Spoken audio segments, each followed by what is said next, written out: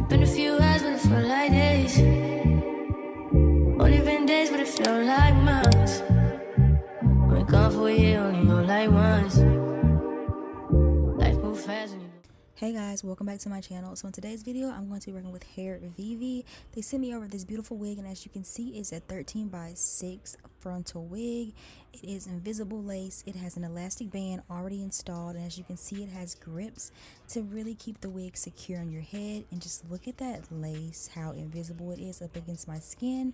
The wig also comes pre-plucked. It has like deep plucking to really give that realistic look and you can get really deep parts with the amount of lace that you have so I really love that about this wig. They also sent me some of their true scalp tape. This is to make your part look way more realistic with your wig so you don't have to like add makeup to your wig. So you really you just take these and you um stick them inside your wig. And right now I'm just showing you the two lace colors that they offer and I love that because um, every lace doesn't match. Everybody and not everybody wants to put makeup on their lace. But you see you just take the tape and put it where your part is and it gives this really realistic look. It gives like a scalp like finish. You see that little shine it has to it? I really really love it about their wigs.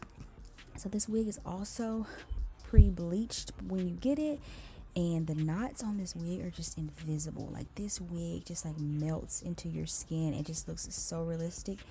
I just honestly love Hairvivi um, the wigs are very high quality. They are on the more expensive side, but I believe that you get what you pay for with them. And I just love that. Like, I believe this is my favorite wig company because, for one, let me tell you guys, these wigs smell amazing. Like, straight out of the box, they smell amazing. I don't know what it is they use on their wigs, what they wash them with, or whatever. I don't know, but they smell like perfume. And even after you wash them with your own shampoo, you can still smell the scent. I have a wig from like my last collab with them that I still have and it still smells amazing, still feels amazing. The quality is still A1. It's still it's just perfect. It feels like I still just took it out the box.